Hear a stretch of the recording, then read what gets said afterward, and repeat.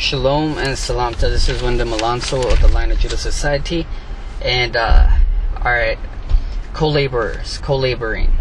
You know, due to the recent like events that, that have taken place, specifically uh, Women's Wednesdays and some of the stuff that that I and I've been observing or been witnessing, I realized that you know some things I personally take for granted and just assume that that many um, have already come to the full understanding of what you know I and I had had received from such a time, and so although we've we've um, put out material in in one particular case uh, before long ago, it, it, seems that that these small details that need to be um, brought to the conscious of, uh, of us as a as an organization and that's the that's the key word actually to be organized and what it requires.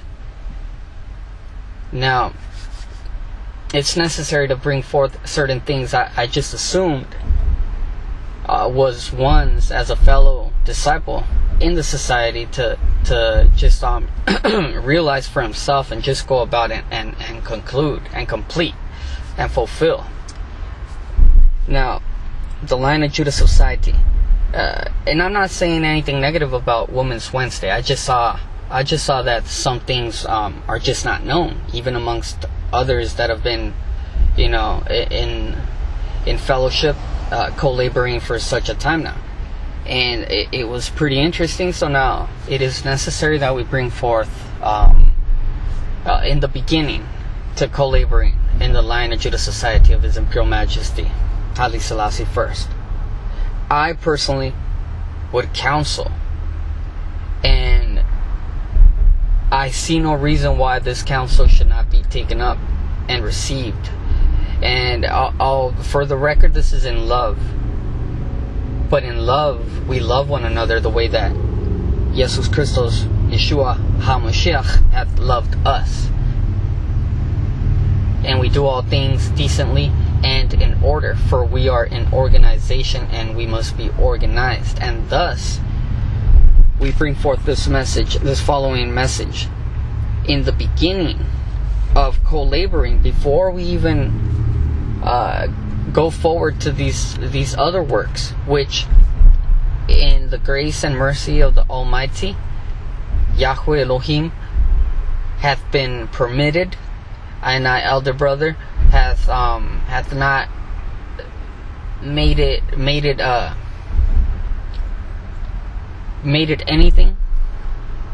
But I personally out of love that Jesus Christos hath showed us in which that in turn glues us together bound or bonded with a glue stronger than even blood bring forth this out of the necessity to honor and to give credit where credit is due. And so for my brother Wendim Yadon, and that's redundant. So anyway, for Rasiatinos Teferi, Wendim Yadon, to Ainai, uh, brother Yadon, it is it is worthy that credit be given to whom credit is due. And the brother has worked hard and long time to set up the organization, and the least I could do coming into it is give honor to the system that hath already been established with blood, sweat, and tears. I and I sure. I and I. So, I would say, are we co laboring? But first and foremost, are we even officially, officially, in spirit and in truth, a member of the society?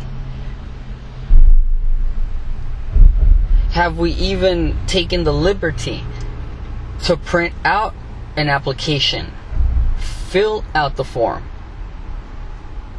along with the $10 fee, which is, um, which is um, another reason why I do this kind of thing is because it's a, it's a good way to you know we we can all, we can all afford ten dollars and it's support nonetheless for the society.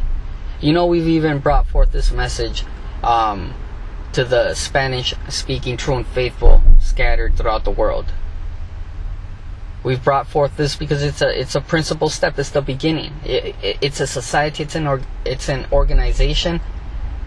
If you're not if you have not applied and presented the fee required, you're not documented as as even a member officially.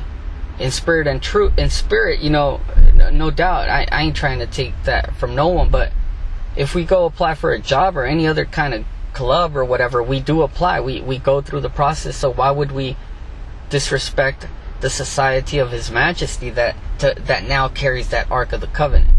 So I don't think it's it's um it's like even a question. In love, we would all run out to do it, and it's it's cool if if we didn't know, but now that we know, what are we to do? So are we even official members, official members of the society? Have we even applied? And and submitted our applications. Along with this, I would recommend to organize a binder with those plastic clear covers, you know, and in which are encased the printed documents that we could all find by going to lojsociety.org slash study. PDF versions it's easy, just go there and all these documents are are ready for us to take it seriously. So going forward, I would suggest that the Shabbat readings be printed out and those be be um, no doubt um, set aside in a in a different binder uh, that is more pertaining to the discipleship but it, it is still as important. As for the, the binder that will hold the, the important documents for the society as official members, recognized through our uh, application and signature and entrance fee. I once recognized uh, recommend counsel that we go forward with this binder and also printing out the Eternal Life New Covenant Creed. Sign it if necessary. Store it within the binder. Along with the copy of the application, we send one in, we keep one. And if necessary, print out extra copies. We counsel to go forward and print out the eternal life of His Imperial Majesty Covenant terms if necessary, sign. Store in one of those plastic clear covers in that binder recognized as an official member of the society. I would also counsel that the Declaration of Sovereignty be printed out, read, and studied. The letter of opinion be printed out, read, studied, and no doubt the Lion of Judah Society, ICC, I, uh, the Universal Church Code, specifically be studied, read, and studied again. And go online and and uh, you could you could um there's videos that our brother Yadon has put forth concerning the Universal Church Code official order of Rastafari business And I now would counsel that a copy of the Universal Declaration of Human Rights as well be printed and stored within this binder of an official member of the society. Now, why the Universal Declaration of Human Rights? Because our UCC, Universal Church Code, brings forth a position that is upheld only and through the Universal Declaration of Human Rights. So we would um, counsel to go forward in such a way. And, um, you know, uh, it's what it is. So we give thanks to all. Shalom. Salam.